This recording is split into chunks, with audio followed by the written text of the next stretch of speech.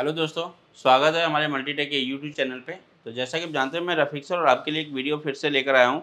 आज हमारे पास एक फ़ोन है रेडमी का और रेडमी के फ़ोन में क्या दिक्कत आ रही है कि नेट रेडमी का नोट फोर है। नोट फोर में क्या हो रहा है कि MI आ रहा है और एम आई आके फिर वो चला जा रहा है।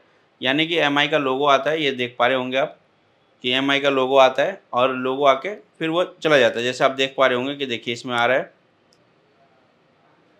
ये देखिए एम आई एम आया गया और फिर आया।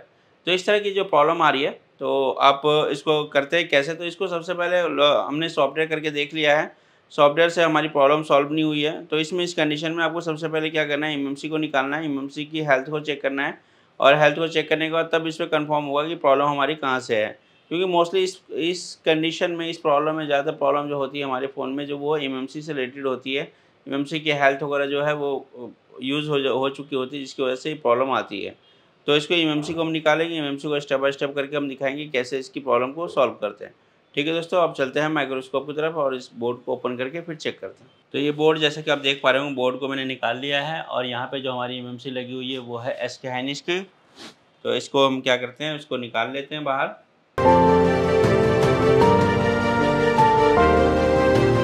इसको पीसीबी होल्डर में लगा लेना ठीक रहता है।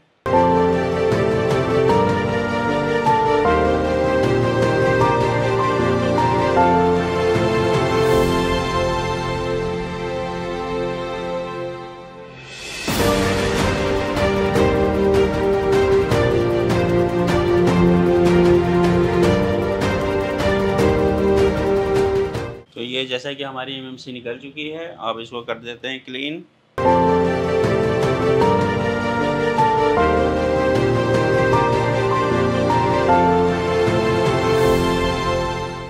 तो ये बोर्ड बिल्कुल क्लीन हो चुकी है हमारी। अब देख पा रहे होंगे, अब इसको हम करते हैं रिवॉल्व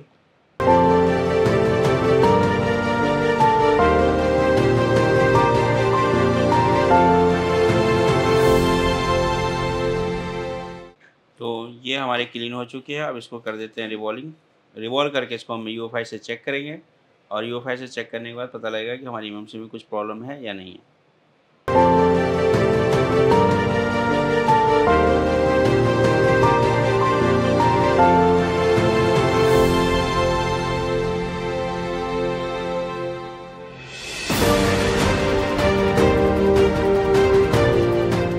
इस तरह से ये इसकी रिवॉल्विंग हो चुकी है। अब इसको निकालते हैं ऐसे। इसको थोड़ा सा सेप लाने के लिए हल्का सा फ्लक्स लगा के हीट करेंगे।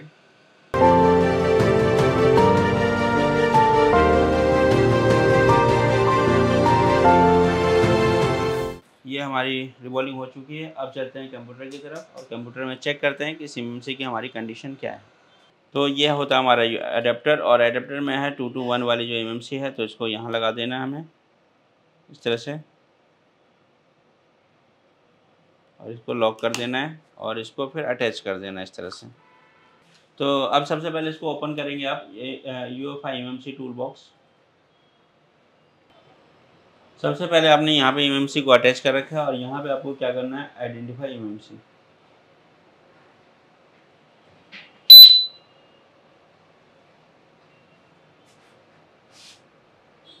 देखिए, यहाँ पे जो रीजन था रीजन क्या था? हमारा डिवाइस जो है urgent urgent consume 90 percent the reserve block जिसकी वजह से हमारे जो फ़ोन में जो दिक्कत आ रही थी, जो हमारे फ़ोन में जो दिक्कत आ रही थी, वो ये दिक्कत थी कि हमारा फ़ोन जो है क्या हो रहा है रेडमी पे आ रहा था और आगे चला जा रहा था। तो इसमें आप हम उसको मैं पूरी डिटेल में इसमें बताने वाला हूँ कि इसकी प्रोग्रामिंग और किस तरह से इसको आपको रिपेयर करके इसको फिक्स करना है। ठीक है दोस्तों? तो आगे चलते हैं। अब जब सबसे पहले अगर इसमें आपका ये लिखा था, urgent consume 90 percent reserve block तो इसमें पूरी प्रोग्रामिंग में बताने वाला हूँ और कैसे इसको रिपेयर करने वाले तो ये देखिए। सबसे पहले आपको क्या करना है इसमें? सबसे पहले यहाँ पे डम फ़ाइल होती है। जो डम फ़ाइल आपको लेना है, जो ऑलरेडी है E S T C S T user area boot one boot two ये फ़ाइल हमारी क्या होती है? सी पी एम सी की बीच कनेक्टिविटी होती है। तो इसको हमें लेना होता है और ये जो हमारा स्टोरेज है, वो है चौंसठ जी बी तो लगभग आप बत्तीस एम बी आप ले सकते हैं। बत्तीस एम हमने ले लिया है और इसको हमें कर लेना है रीड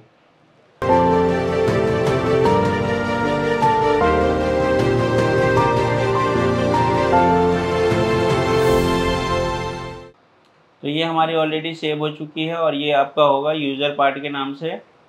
सॉरी डम फ़ाइल के नाम से तो यहाँ पे देखिए। यहाँ पर आपने खोला और यहाँ पे आपका जो आ गया है note four note four user area part ये जो भी हमारी जो वो फ़ाइल हमने बताया ना डम फ़ाइल तो ये डम फ़ाइल के नाम से आएगा तो अब इसी के अंदर एक फ़ाइल और आएगी आपकी।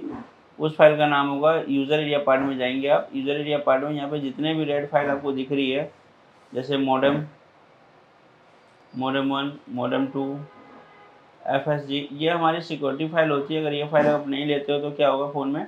नेटवर्क नहीं आएगा और आई नंबर शो नहीं करेगा। तो ये हमारा मस्ट होता है, ये ज़रूरी होता है। कष्ट लेने की आवश्यकता नहीं होती है। काफ़ी लंबी फ़ाइल होती है तो आप जो भी ऊपर की फ़ाइल थी, वो आप रीड कर लें इसको।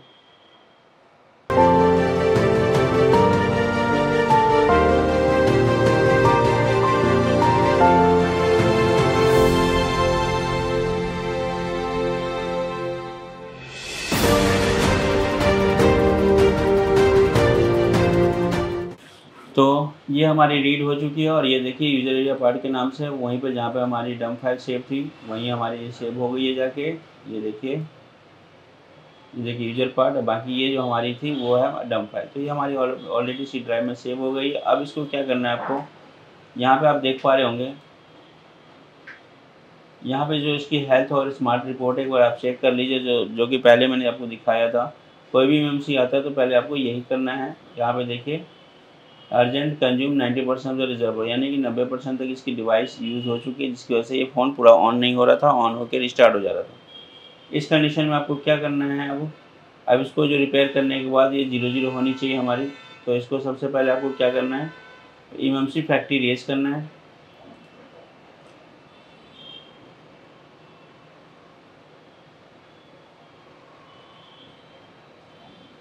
उसके बाद आपको इरेज कर देना है।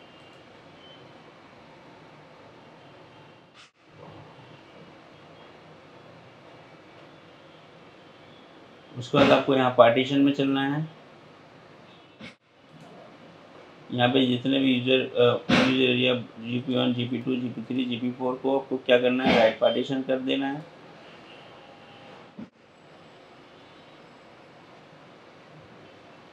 पार्टीशन हो चुकी है। अब इसकी जो हेल्थ है, वो जो एक बार आइडेंटिफाई कर लेते हैं और देखते हैं कि हमारी वो जो 90 परसेंट रिज़र्व ब्लॉक थी, वो ठीक हुई है नहीं हुई। तो अभी तो कुछ मैं नहीं दिखा रहा यहाँ पे, लेकिन यहाँ पे हेल्थ से पता लग जाएगा आपको कि हेल्थ इसकी हमारी एम की अब क्या है। हेल्थ हमारा नॉर्मल आना चाहिए तो यहाँ पे देखिए बिल्कुल नॉर्मल हो चुका है। ज़ीरो से दस परसेंट यूज़ है ज़ीरो से दस परसेंट यहाँ पे फिफ्टी परसेंट यूज़ था, और यहाँ पे आपका नब्बे परसेंट था। तो ये एम बिल्कुल रिफ्रेश हो चुकी है। अब आपको क्या करना है इसमें? इसमें जो आपको करना है, सबसे पहले नोट फोर जो आज आपने लिया है तो इसका जो आपने फ़ाइल ली है बत्तीस। तो आपको क्या करना है? इसको राइट कर देना है जो डम फ़ाइल थी उसको क्या करना है? राइट कर देना है।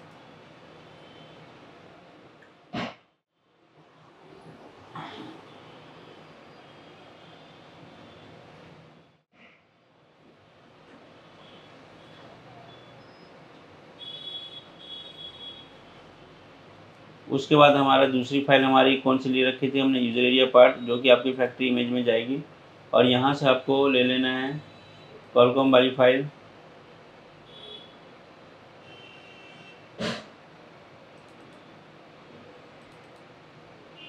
यूज़र एरिया पर में रो रो प्रोग्राम के नाम से आएगी, ये आ गई है। और यहाँ कर देंगे आप राइट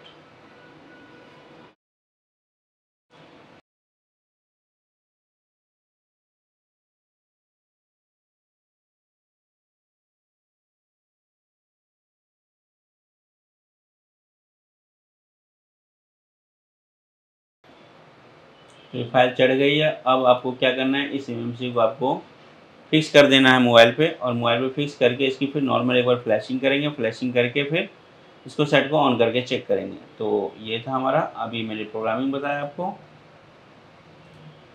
अब चलते हैं इसके आगे और एम को निकाल लेते हैं।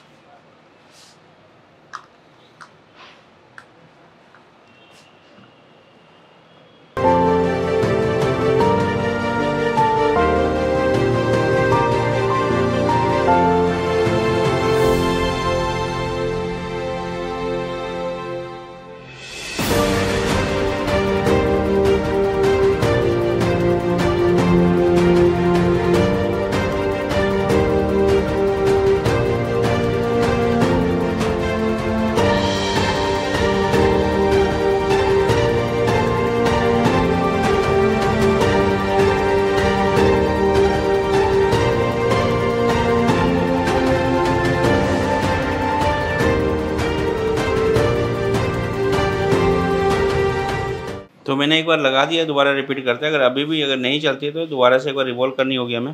तो अभी थोड़ा ठंडा हो रहा है, ठंडा होकर फिर चेक करते हैं। बोर्ड में लगा के कि हमारे फ़ोन में अब क्या कंडीशन है। ये हमारा फिर सॉफ्टवेयर से कनेक्ट होना चाहिए। सॉफ्टवेयर से कनेक्ट होने के बाद ही हम इसको कंफर्म करेंगे।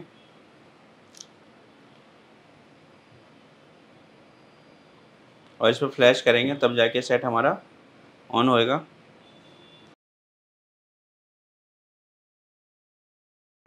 इस तरह से आप देख पा रहे होंगे। एक एक ध्यान दे दो। इसको मैंने ऑन कर दिया है। ऑन करने के बाद इसको आप चेक करते हैं कि देखते हैं पूरी तरह से हमारा सेट ऑन हो रहा है कि नहीं हो रहा है। तो यहाँ पे देख पा रहे होंगे। एम आई लिखा हो रहा है। देखिए एंड्रॉयड आ चुका है। और एंड्रॉयड आने के बाद पहले जो था, हमारा एंड्रॉयड नहीं आ रहा था। तो अभी थोड़ा सा वेट करते हैं और वेट करके हम चेक करेंगे कि सेट हमारा पूरी तरह से ऑन हुआ है कि नहीं। ठीक है दोस्तों?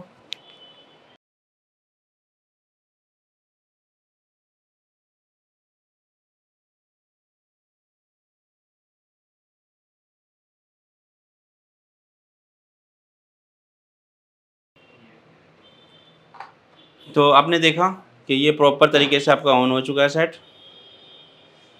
तो यहाँ पे आप लगा देंगे इसका सिम वो, क्या कहते हैं? टच लगा देंगे आप, और ये टच से प्रॉपर आपका सेट जो है ऑन हो चुका है। इस तरह से आप किसी भी सेट को, आप जैसे इस तरह की प्रॉब्लम आती है तो आप इस तरह से प्रोग्रामिंग करके सेट को ओके कर सकते हैं।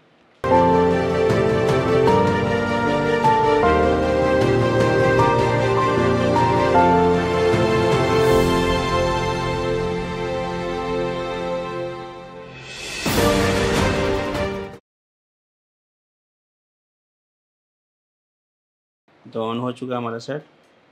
ये देखिए, इस तरह से आप प्रॉपर तो आपने देखा, यही फ़ोन था जो हमारा पूरा ऑन नहीं हो रहा था, सिर्फ़ एम आई आके जा रहा था और बंद हो जा रहा था। बंद होकर रिस्टार्ट हो रहा था तो हमने क्या किया, इसको चेक किया और चेक करने के बाद पहले सॉफ्टवेयर किया। सॉफ्टवेयर करने के बाद प्रॉब्लम सेम थी तो हमने एम को निकाला।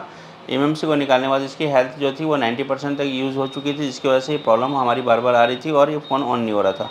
तो हमने क्या किया, उसकी प्रोग्रामिंग किया प्रोग्रामिंग करके इसको सेट को फिक्स किया और नॉर्मल फ्लैशिंग करी। फ्लैशिंग करने के बाद ये प्रॉब्लम हमारा सॉल्व हो गया और इस तरह से प्रॉपर सेट आपका ऑन हो चुका है। ठीक है दोस्तों? तो मिलते हैं फिर आपको नेक्स्ट वीडियो में और फिर आपके लिए कुछ नया वीडियो लेकर आता हैं।